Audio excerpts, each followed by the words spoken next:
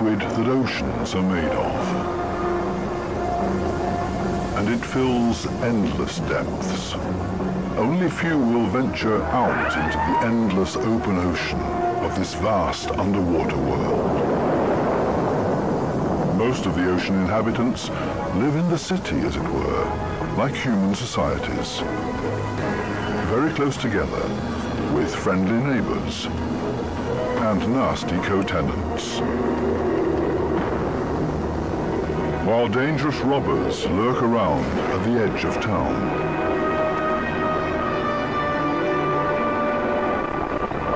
To assert yourself here, you have to be equipped with all kinds of tricks and clever strategies, or lie and cheat. Coral reefs are the largest structures in the world. They're giant submerged metropolises.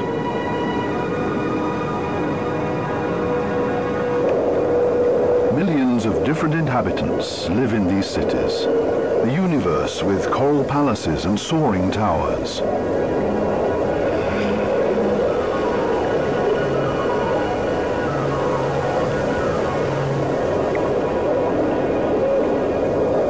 Every neighborhood has a chief. The entire street belongs to this guy. No trespassing, okay? A typical large city with all the noise and ruckus.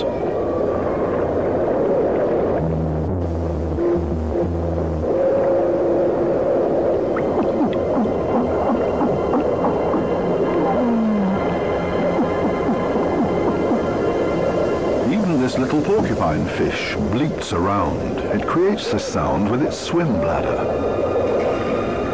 Two small harlequin shrimps are nibbling on this blue sea star.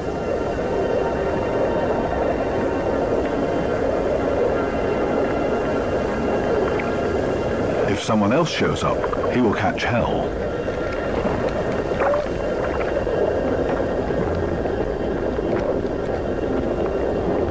Another harlequin shrimp busy pulling a bite out of a sea star. Moray eels in disagreement.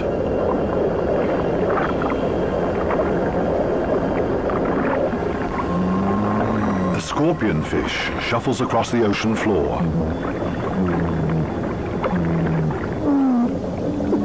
Everything and everybody makes a lot of noise.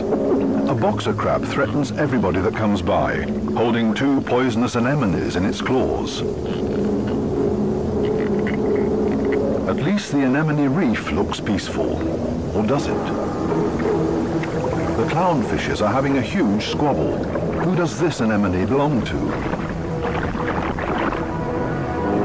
Hardly see this fish, but he's easy to hear, a crocodile fish. Does this giant puffer fish hear something?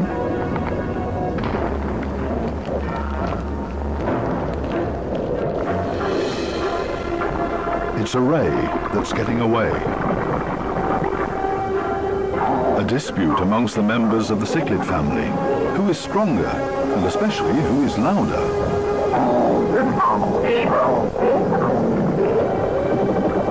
Walkman fish are noisily trying to woo a female.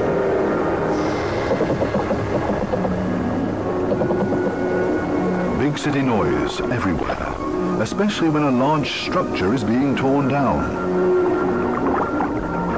Everybody lives in their own way in this noisy metropolis. Some hover above it all, but others are more down to earth and literally live in the coral sand. These goatfishes, for example, they plow through the ocean floor and catch smaller animals between their teeth. They use their barbels like a dowser. With them, they can detect even the weakest electric fields that point them towards small prey.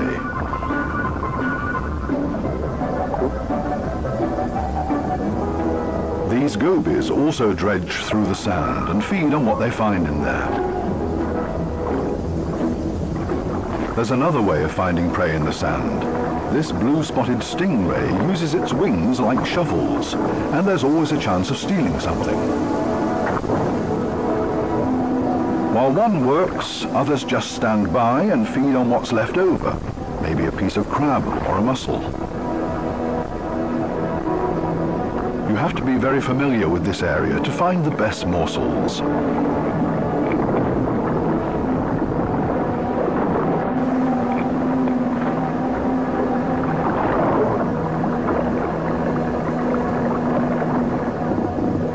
This triggerfish uses a strong stream of water.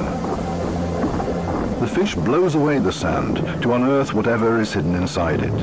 Others are quick to steal whatever they can.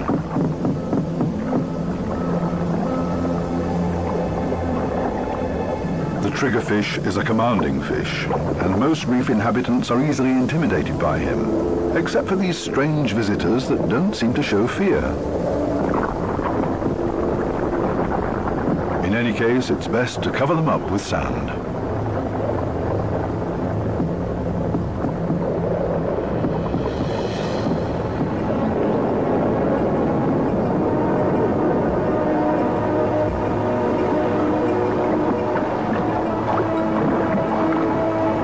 It's not easy for a small fish in a big city. There's always somebody with bad intentions, and you have to be extra careful not to get swallowed like these moon wrasses, for example. So it's always safer for the smallest among the reef inhabitants to show up in schools. It's difficult to keep an eye out for only one little fish, and as a result the predator often grabs blindly at nothing and comes up empty. To show up in a big mob is always safest. Others are easily distracted at the sight of so much prey all at once. This easygoing giant pufferfish would never have a chance here anyway. Being part of a school of fish is always the best protection from predators. The slow ones are being ignored. No danger here.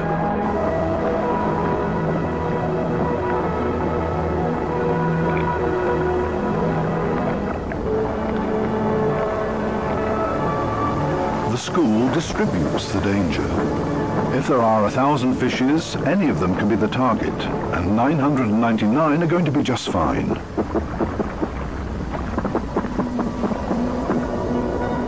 But what about loners, or those that live as a couple? Seahorses, for example, camouflage themselves to look like the coral branches they're holding on to.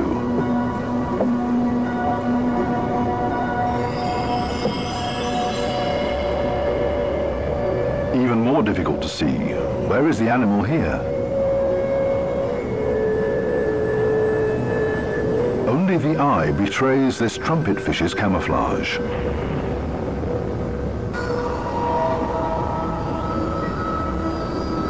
They do everything to not look like themselves, ornate ghost pipe fishes.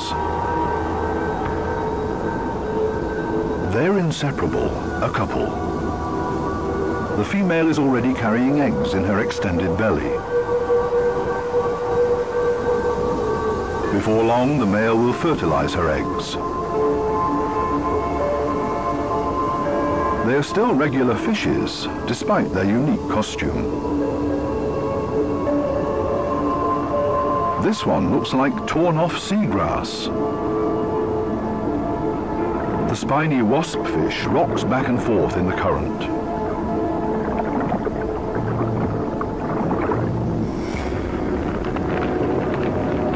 A monster, but ingenious camouflage. A spider crab that's decorated its head with a sponge. This will deter any predator. Another great camouflage, a barrel decorated with rocks. Only the movement of the gills betrays this stonefish. Even a smack with a fin doesn't bother him. The fish knows it will not hurt him. It only shoves him a little further to the side.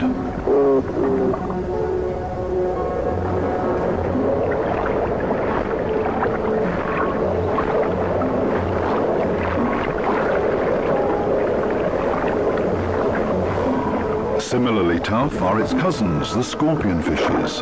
They lie there as if dead, especially when others around them freak out even when moray eels fight with lionfishes for food.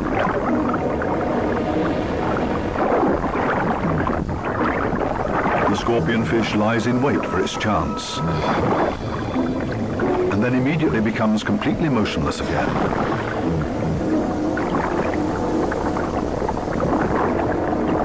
The only difference is that it raises its dorsal fins with the poisonous barbs inside. is completely still, but now also armed. This large anglerfish virtually blends into the background tangle of algae and leaves. Right now, the anglerfish is on high alert. It ejects a large cloud in order to throw off predators. It's not the time to feed or catch anything. Its angling rod is lying flat on the fish's back. The white tip at the end of the rod is used to lure prey. The anglerfish feels threatened by something. Finally, it gives up its camouflage and moves further over, using its fins to float. As soon as the fish retracts the fins, it sinks to the ocean floor. Anglerfishes come in all kinds of shapes and sizes. Their trick is ingenious, using the angling rod as a lure. And every curious little fish becomes dinner. Many animals, including ocean inhabitants, communicate with a mixture of sounds and behavior. Everybody has to look out for their own survival in this metropolis of ocean inhabitants. But it seems maybe not quite everybody does it by themselves. The partner goby has come to an agreement with two pistol shrimps. The goby keeps an eye on things while the shrimps keep maintaining their hole. Larger rocks at the entrance are ideal for securing it.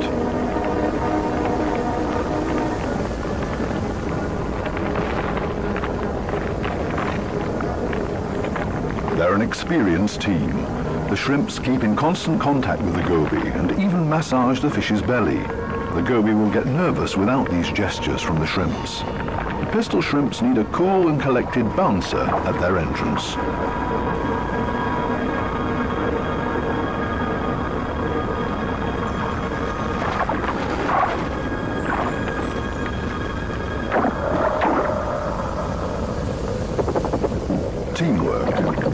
Where the anemones settle with their poisonous tentacles.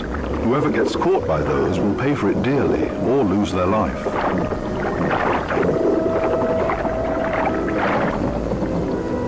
No wonder that there is virtually no one who likes to settle here. The little clownfishes are the only ones that know how to deal with these tentacles. They cover themselves with the slime of the anemone's tentacles and are protected from the poison. The clowns are safe in here, and in return will protect their anemone as well as they can. This seems like a sensible deal. But on occasion, the anemone will pull the tentacles inside its column-shaped body, which means the clownfish's home is gone. When this happens, they panic and look for another anemone that they can hide in for the time being. Unfortunately, this one is already occupied, and the next one as well, and this means having to fight its current owner. There's much to lose for the clowns. Without the anemone, they can't procreate. The clownfishes attach their eggs to the bottom of the column-shaped foot of their anemone, hidden behind the poisonous tentacles. Both male and female tend to the eggs. They fan fresh water on them. The eyes of the babies are already clearly visible. The clowns are very protective of their eggs.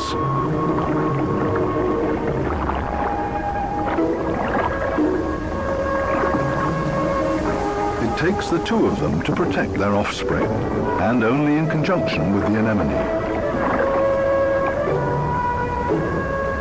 Everybody in the reef has to take special care of their young. If they don't, it means their species will simply die out so it's not surprising that everybody gives it their best effort.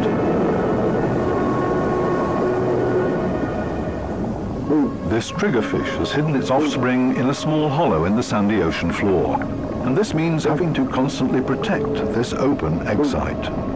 On occasion, they blow and fan the eggs, but mostly they keep an eye out for predators. This means grave danger, one of the sea urchins is wandering straight towards the nest. The eggs have to be protected at all cost, but how? The triggerfish seems to consider the alternatives.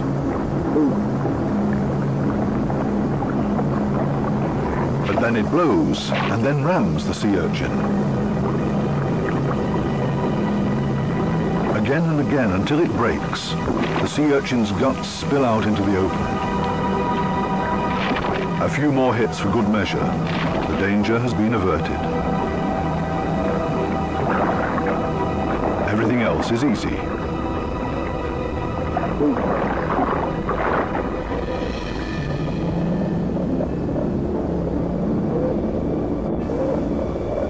Two little damsel fishes cling to a coral branch, a pretty and obviously inseparable pair. They appear to have something important to do. And there it is. The female has been laying eggs and glued them to a coral branch. Over and over again, both of them sweep past the eggs to keep them clean. Two very busy parents in the middle of town. Not far from them, the same kind of damselfish, but this one is feeding on the eggs, not tending to them. This damselfish's priorities have changed. Its partner is gone, and it's impossible to bring the eggs through by itself. So it feeds on its own eggs to at least recycle the nutrients.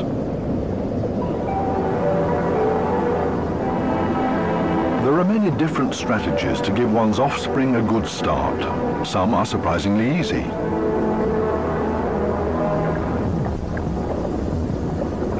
Mass mating of the black sea breams. The males are so generous with their sperm that often a cloud of it will engulf the entire wedding party.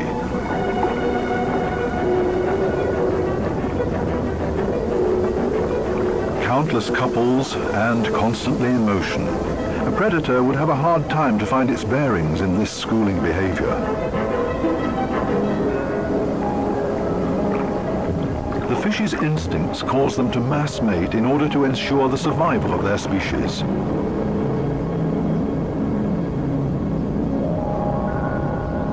Cardinal fishes have their own clever means of child protection. It's not time yet. The couple are still flirting and courting with each other, going around and around.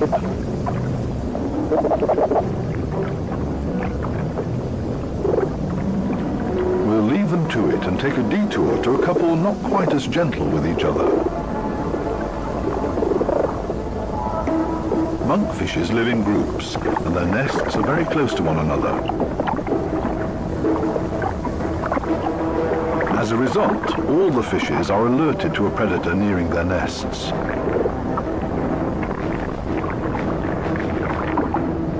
Hermit crabs love to feast on the eggs of the monkfishes, so the protective parents are all getting nervous.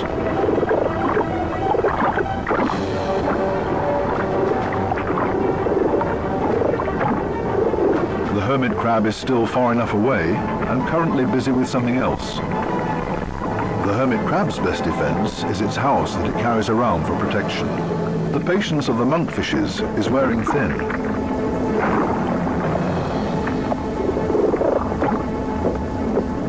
Now everyone attacks in order to bowl the crab away from their nests.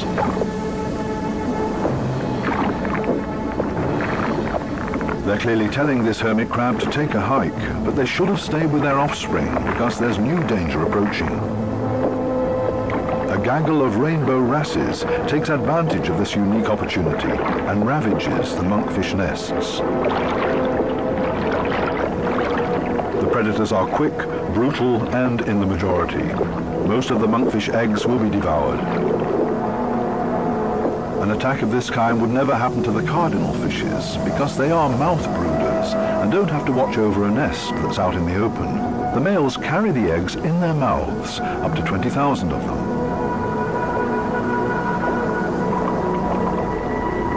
A mobile nursery. They're safe here in their father's mouth, unless of course he gets eaten.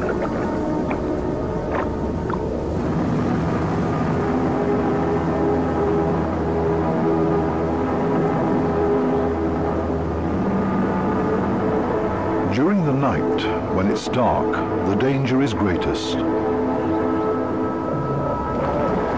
These underwater cities have a very active nightlife with special attractions. Basket starfishes come out and sit in the current. It's a night-active type of brittle star. With their arms full of tiny little hooks, they filter plankton out of the water to feed.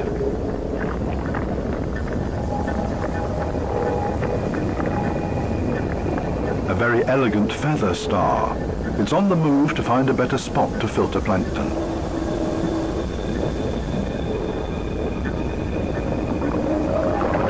This Spanish dancer is even more graceful and elegant than the brittle stars.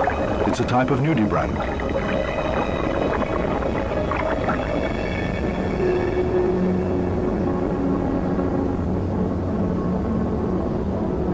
The giant pufferfish is relaxed and spends the night dozing off on the sandy bottom. Others prefer the safety of their quiet bedroom, a surgeonfish. Everybody settles in for the night as comfortably as possible. The parrotfish tucks itself away in its mucus cocoon for protection against predators. Everybody's sleeping arrangements are different.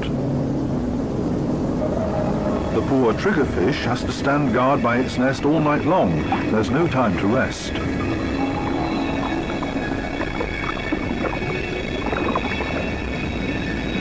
Some of the predators are quite soft-footed. A cone snail has spotted a small fish.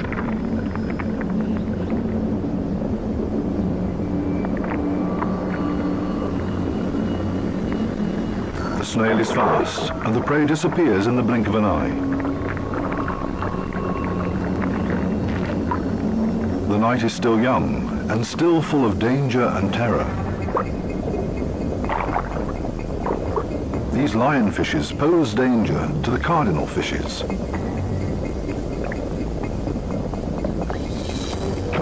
Lionfishes suck in their prey.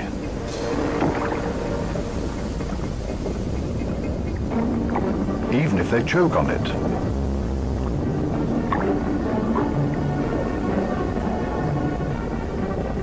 They're hanging around waiting for their chance.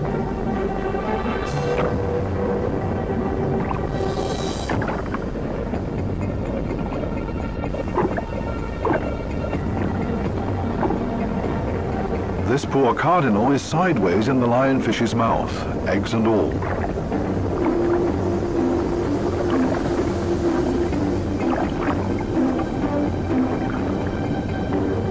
Lionfishes aren't the most elegant predators, with all their attachments and frayed fins. But this is all part of their camouflage. They're harder to see and blend into the background. Outside the reef, the lionfishes hunt as a school. They drive their prey towards one another with their fanned-out fins.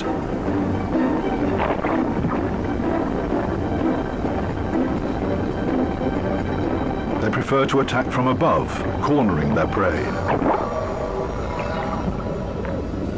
This is not a different location, just different light. These special blue lights totally change the appearance of the reef. Now we can see that the coral polyps are bright red, and they clearly stand out from their environment.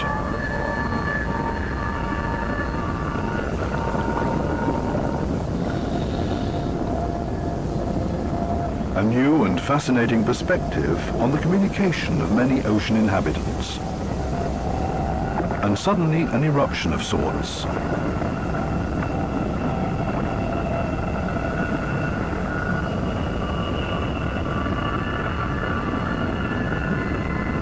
Looks like smoke, but in reality it's a type of reproduction.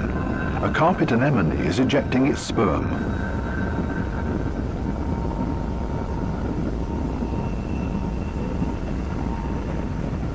In the blue light, it looks like a dramatic eruption.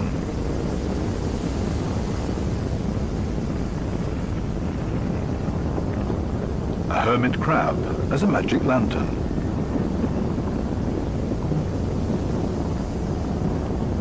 The blue light brings out these colors.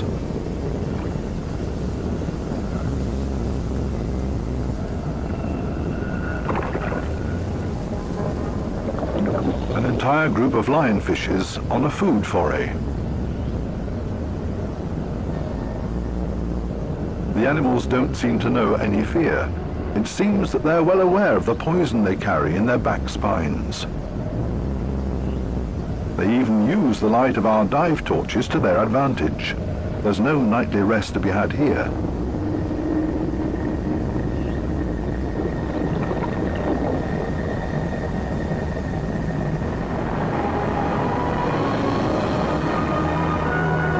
With the first daylight, new life comes into the reef city.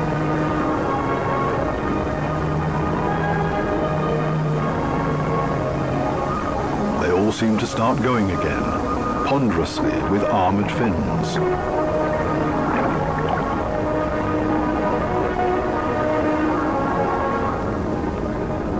As pedestrians, and as light and quiet as possible.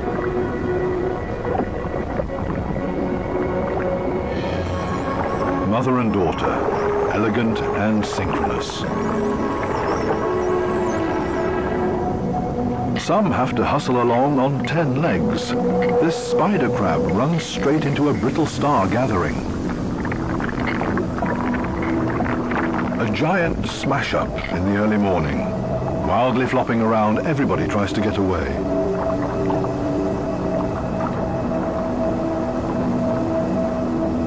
As in every city, there are also shopping opportunities here.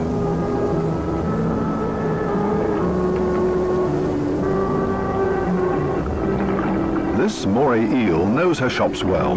She rushes to her favorite store every morning. The same with this blue-spotted ray. But they haven't opened yet. It leans on one fin as if to say, it's waiting.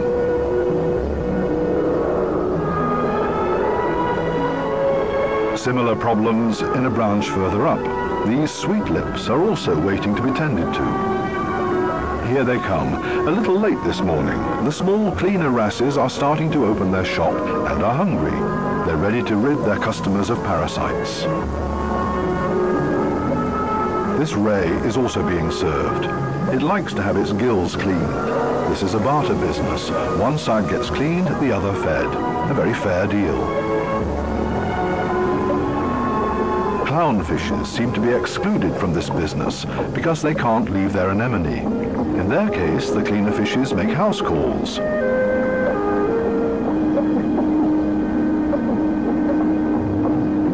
This snake eel is also otherwise engaged, and the cleaner shrimps are also making house calls for him.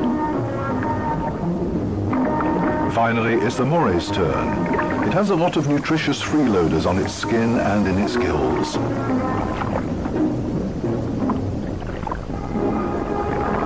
Sudden, the cleaners leave. Why?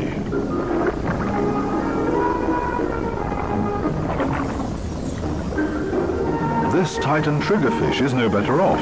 The treatment has stopped before he was finished. The cleaner fishes have new customers, clients that had never come to see them before, and they're now being preferred over old customers.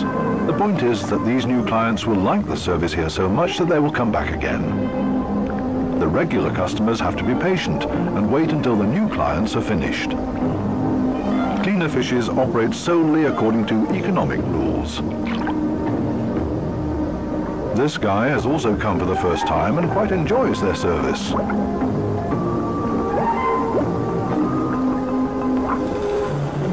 Sometimes it's too much of a good thing though. This small black-spotted puffer just wants to look around and is not asking for a cleaning at this time. It swims away quickly and clearly annoyed.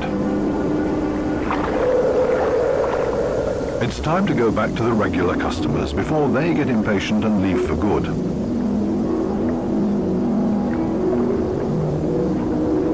Digging deep where the gills are dirtiest. One last time through the mouth, and it's as good as new. The teeth squeaky clean. Now this male moray can start looking for a suitable female. She is clearly not interested in male visitors. This next dugout also does not look encouraging.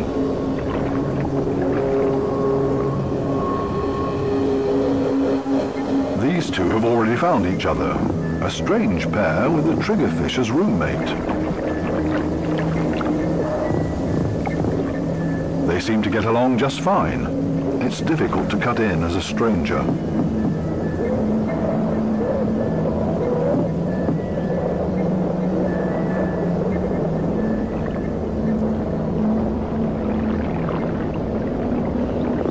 It would also be well advised to stay away from this giant triggerfish.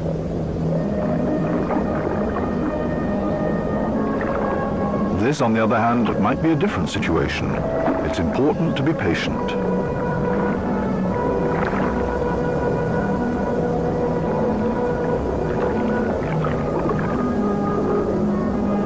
This female moray does not seem to be too reluctant. She's showing her teeth, which is not a sign of aggression, quite the opposite. She finally agrees to a date.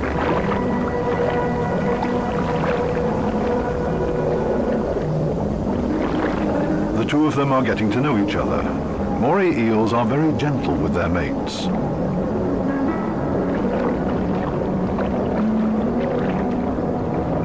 And they're good for another surprise, as partners of a phenomenal hunting party. These types of hunting parties have to find each other first in this big city. Right place for the Moray and her partner. The Morays cooperate with the groupers. It's not so far-fetched. The grouper hunts in the open and the Moray inside the reef. The Moray is able to get in between cracks and crevices that the grouper can't get to. Together, they're a strong team. A grouper that's trying to convince this Moray to hunt with him. The grouper signals this to the Moray by rocking back and forth and shaking for all it's worth. All for nothing. This Moray doesn't understand and stays in its cave.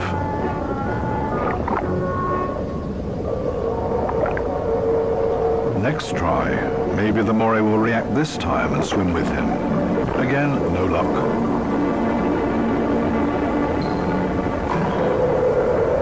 Finally, this Moray seems to understand the grouper and is hungry. The grouper tilts its head and the Moray accepts his invitation.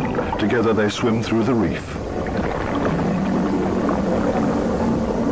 The Moray prefers to swim between the dark alleyways and the grouper decides it's safer to stay on the main streets around the reef.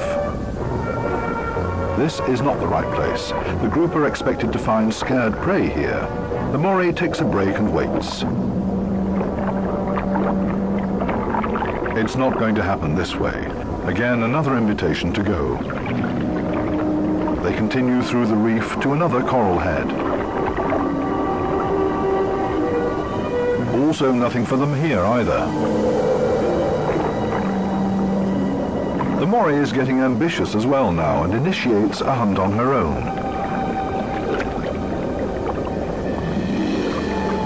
She might be better at finding hunting spots. They're successful in this next coral head, and then everything happens very quickly. The fishes are panicked, and both hunters are able to profit from that.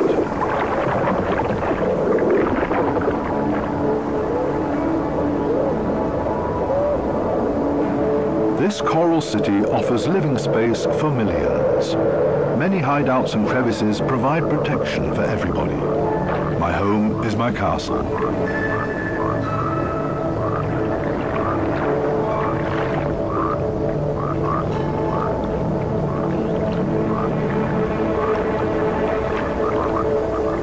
Some escape between sharp corals, others curl up in a ball.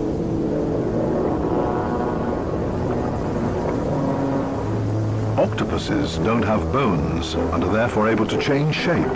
Their homes are usually very tight and space-saving.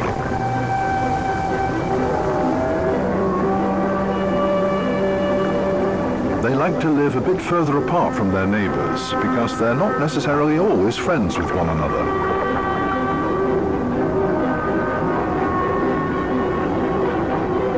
Might be best to put up a wall of stones between them. The ocean offers many hideouts, which is synonymous with survival for many ocean inhabitants.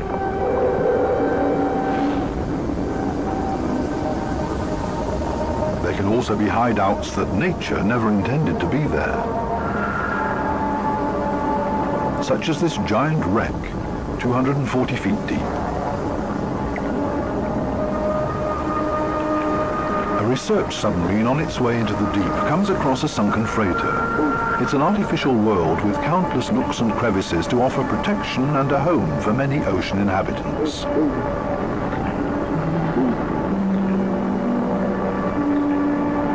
The wreck has long been overgrown with all kinds of sea life.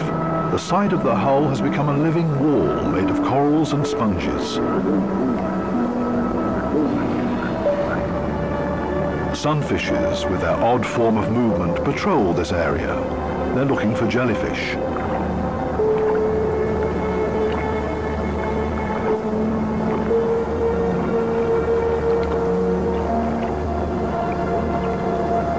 Steerage, where the current is strongest, filter feeders have found a new home, such as these sea fan corals.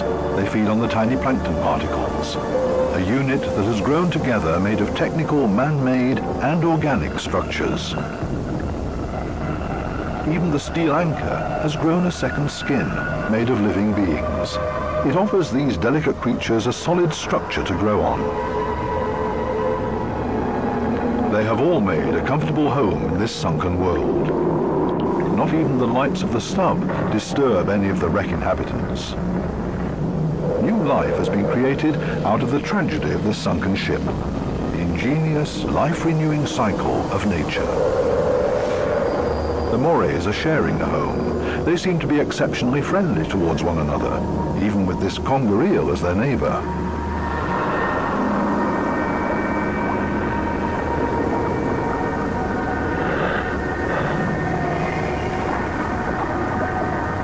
Even the octopus remains unharmed by the morays.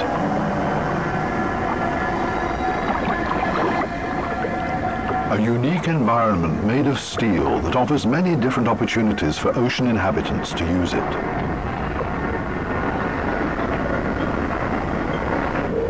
Even this fishing net offers a conger eel a place to hide. Original destination of the sub is located a bit deeper, a picturesque underwater city full of ancient amphora architecture. An antique merchant vessel sank here. Only the clay containers, once filled with Greek wine, are still visible. Now they offer homes and protection to many ocean inhabitants. Similar to the reef, hiding places are essential for staying alive down here.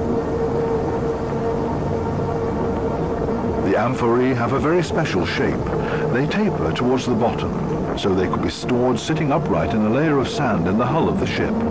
The amphorae and their precious contents were safe during transport. Spiny lobsters welcome these types of caves. Conger eels also feel safe in this mess of amphorae and shards of clay, as if it was made for them and their slender, long bodies.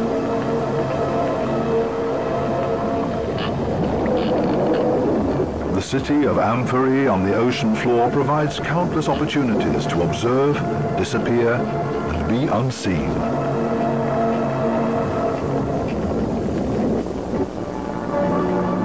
Maybe that's why this city seems to be very calm and orderly, even when the conger eel swims above everybody's abode. Nobody panics because they only have to withdraw slowly into their homes and are safe. The same goes for this forkbeard. The conger eel's only chance to make prey down here is to hide himself and ambush somebody.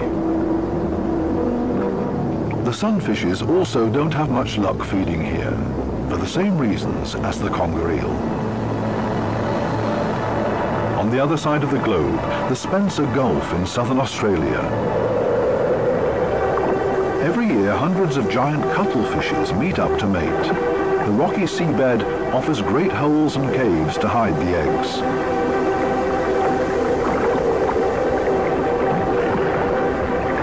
The females are smaller than the males and seem to be a bit shy, keeping their arms tucked tightly together.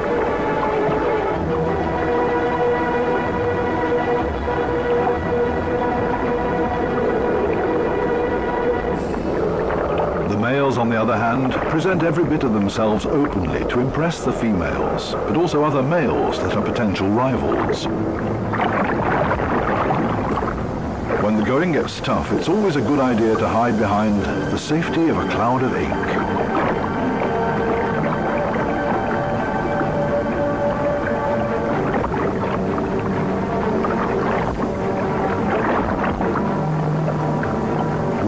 Success. Escape in reverse.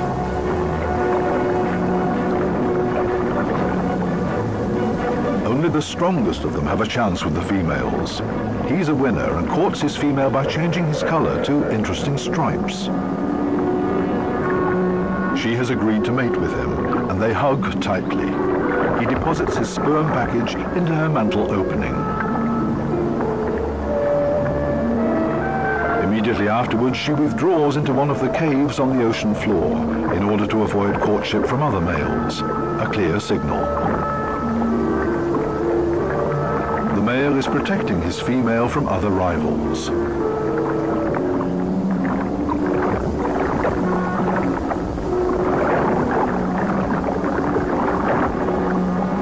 But there's always the unexpected.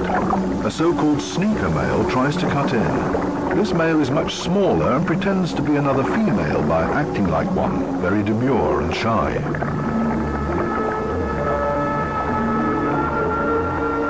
All seems to be fine in the den. He's busy chasing away other rivals from this new supposed female. Especially now that there are two females under his protection. It can't hurt.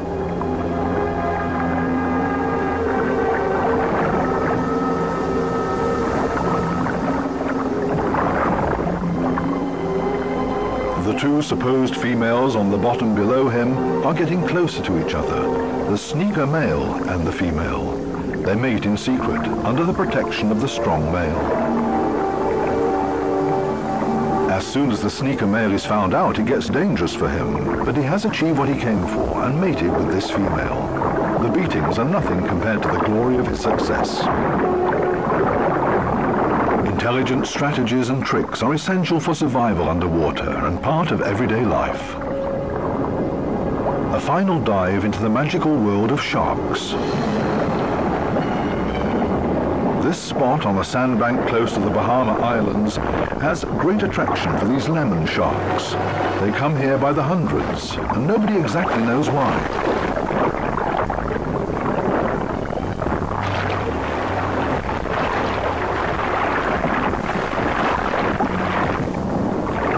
Sandy plateau in the middle of the open ocean is easy for scientists to get to.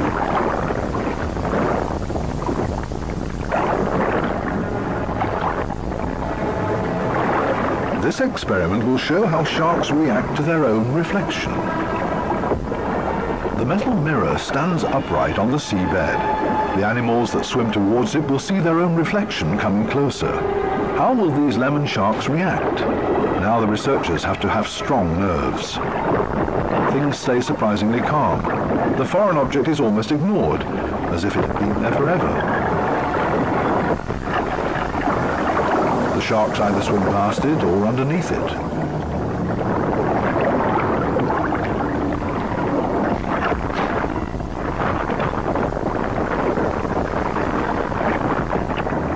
The scientists expected a bit more and soon the sharks lose all interest in the mirror.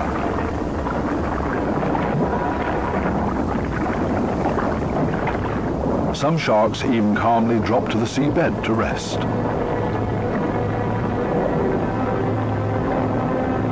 The only ones alarmed by this behavior are the remoras that like to keep moving.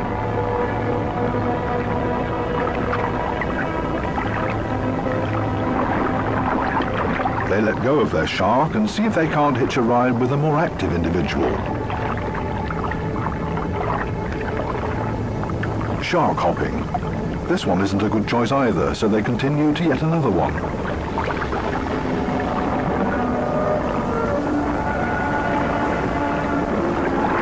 All of a sudden, something happens to the mirror, and the peaceful afternoon on the sandbank changes quickly into the complete opposite rope that the mirror is attached to loosens and the mirror falls over.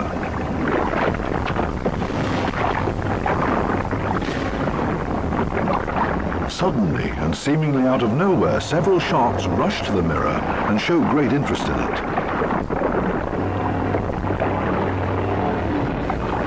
They smell and touch it, and they get more and more excited. What happened all of a sudden? None of the scientists had any idea how to explain this change in behavior. The animals that were calm and collected only a second ago are now completely out of their minds, and the situation quickly escalates into a mass attack on the mirror. Do they mistake their own reflection for an opponent? It's time for the divers to leave because it's not safe anymore. Communication of the ocean inhabitants continues to offer new and exciting insights, though we will probably never fully